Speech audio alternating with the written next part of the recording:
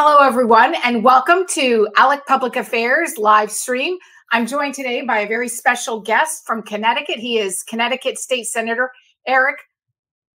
You say Berthel. Berthel. I knew I was going to get that.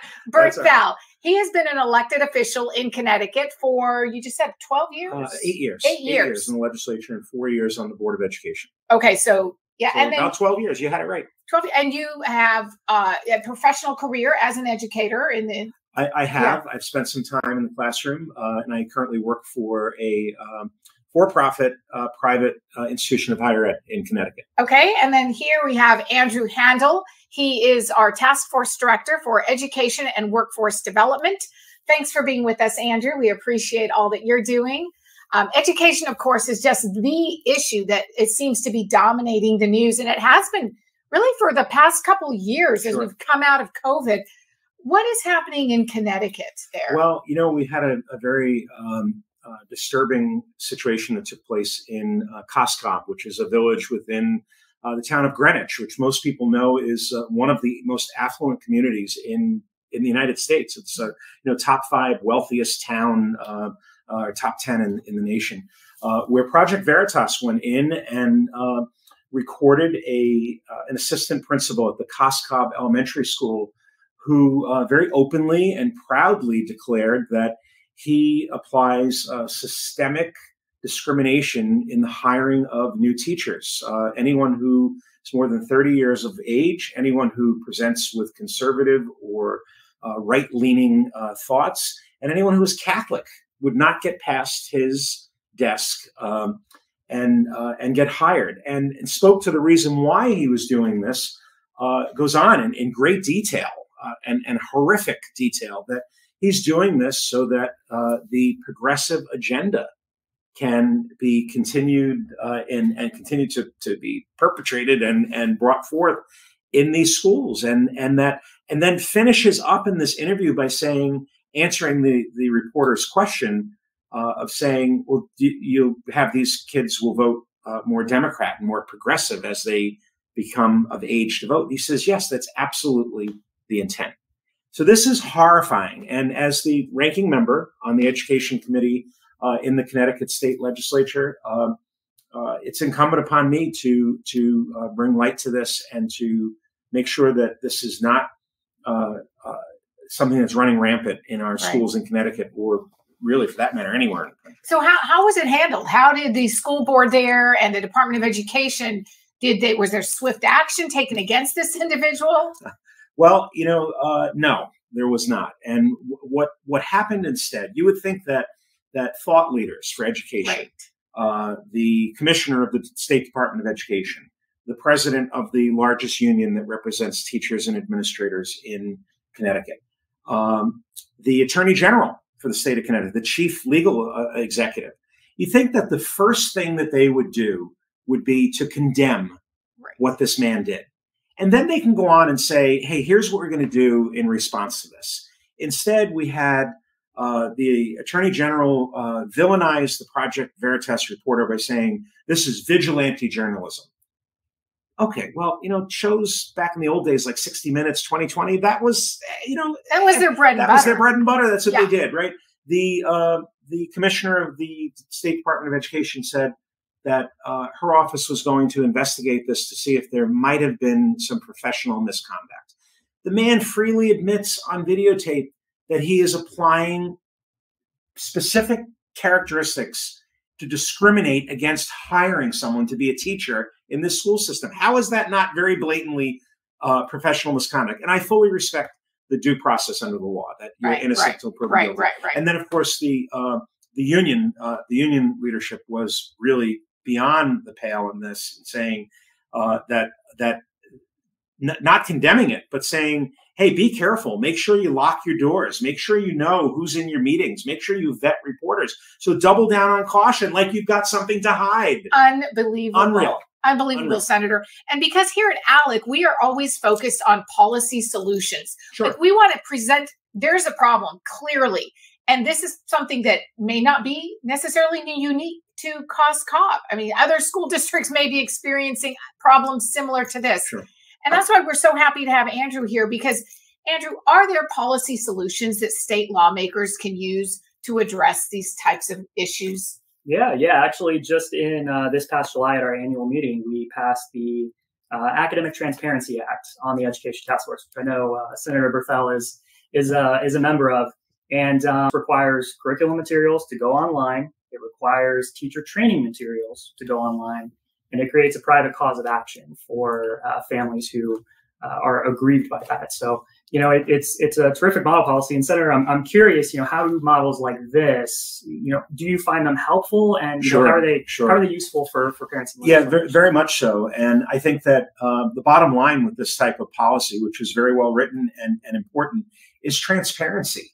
And when uh, when we have uh, building administrators, teachers, principals, superintendents who are hiding behind a lack of transparency. That's a problem because it, it, it's exemplified and, and, drawn out when uh, when you see how an administrator is is is doing what he did in Cos So I, you know, I think we should all, regardless of, of political affiliation, uh, anyone who's in in a uh, elected role and has the ability, or a commissioner, an appointed role, has the ability to influence what's going on in our public school education, should should proudly and easily support transparency. And uh, you know, I would say that parents and grandparents and neighbors and aunts and uncles and older brothers and sisters who have uh, have loved ones who are in our public schools today, if you don't have that transparency and you're not getting the answers, you need to demand it. You need to go before your boards of ed. You need to go before uh, your superintendents in your public schools and demand it. Teachers across this great nation are good people they can have their political biases. They can say and they can believe what they what they want in terms of their politics, but it is not their job to impart their politics on the student. Their job is to teach young people to think critically and to make their own decisions, not to impart their viewpoint and their political agenda. And that's fundamentally wrong. Hopefully, this legislation, uh, this model legislation that that offers all this transparency, will uh, will make it very difficult for a teacher to do that going forward.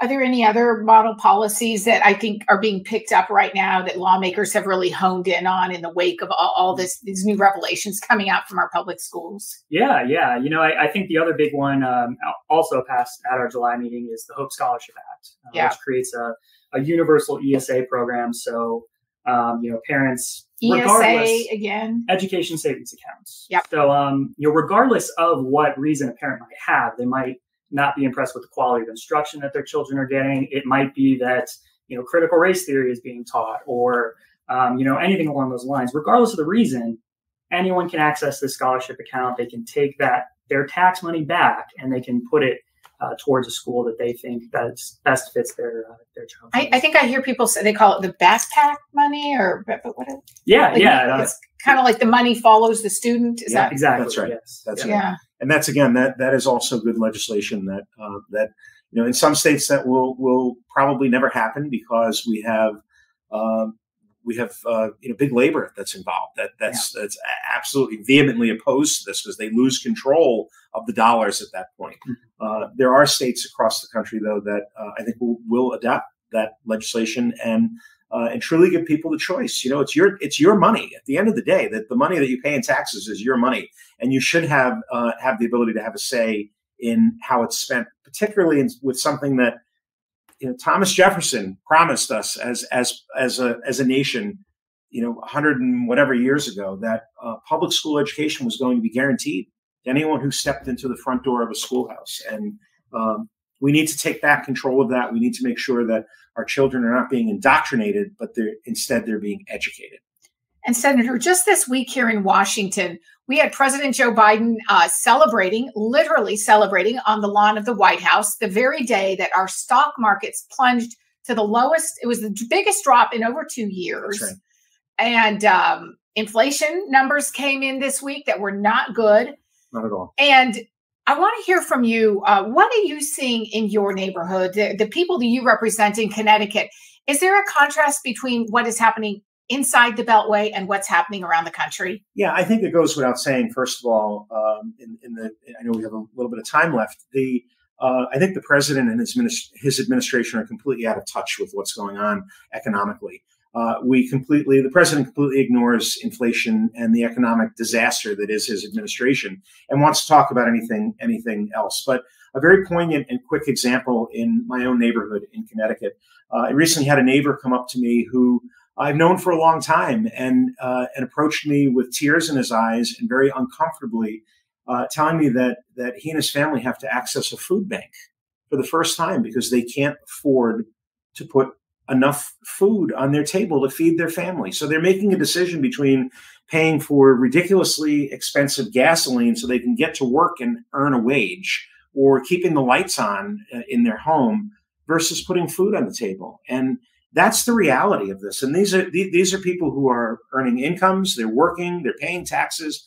They're not people who are asking anything from the government. They're not looking for a handout. They're just trying to survive. And I think this is part of what is that assault on the middle class right now with this raging inflation and the cost of everything being higher than we've ever seen. And the financial markets responding to that with, as you just spoke to, the biggest crash in in in since Biden has taken office. Right, exactly. I think the it was June of 2022 where we had a similar drop. That's right. That was coming on the heels of the complete sort of economic shutdown from right. COVID. That's right. So here we are when Biden's out there saying we're in a recovery, the economy's strong. It's I think the reality for many Americans is very different. Yeah. You know, yeah. someone someone gave I, I think you're right. Someone gave me the analogy earlier today that I that I had forgotten about. They said it's kind of like uh, uh, rearranging the deck chairs on on the Titanic, right? You know, and I think people need to remember that election day is in 55 days on November 8th, and that is the best opportunity and the only opportunity really to affect change across the nation. The entire House of the U.S. House of Representatives, a third of the Senate. I think 44, um, 44 state legislatures are up for election, 80, 88 chambers across the country. This is the time to affect change right. to make a difference and, and unelect the people that that don't represent your values and elect people that do that understand what America is built on and ingenuity okay, and smaller, less government and freedom. Yeah. Yeah. Freedom. That's exactly right. We'll close on that. I'll just remind you that ALEC is our three pillars are limited government, we have free markets, and federalism. And if you're not familiar with the term federalism, that just refers to we believe that uh, this power should be returned to the states. Let the states decide. So those are the big pillars that Alex stands on, and we are appreciative of Senator. Thank you. Berth- Berthel. Yep. I got it. um, being here with us today, and of course, Andrew for everything he is doing. And if you want to learn more, obviously go to alec.org. You can check out our model policies, the ones we discussed today. We have a library on there of close to a thousand model policies that are open and available for anyone to view. So thanks for joining us today, and we'll see you next time on another ALEC Public Affairs live stream. Thank you.